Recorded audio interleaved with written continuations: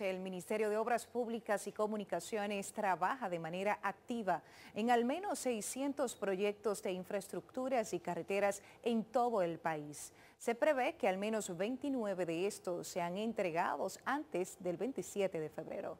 Nuestra periodista Gisette Bueno trabajó el tema, nos da la historia entregada. Y Digo inauguradas, porque hay otras ya están terminadas. El 2023 será el año de la gran cosecha de proyectos para el Ministerio de Obras Públicas. Entre las ejecutorias simultáneas en toda la geografía nacional se incluyen intervenciones a más de un centenar de puentes.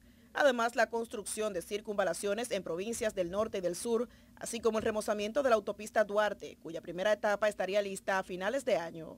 Para cambiar la carpeta del asfalto que estaba en condiciones deplorables, construir unos, una serie de retornos para eliminar cruces y aberturas.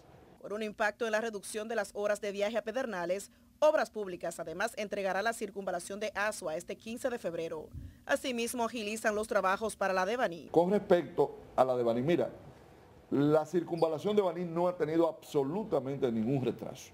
Es una vía importante que toma su tiempo porque eh, miren, señores, nosotros tenemos dos años.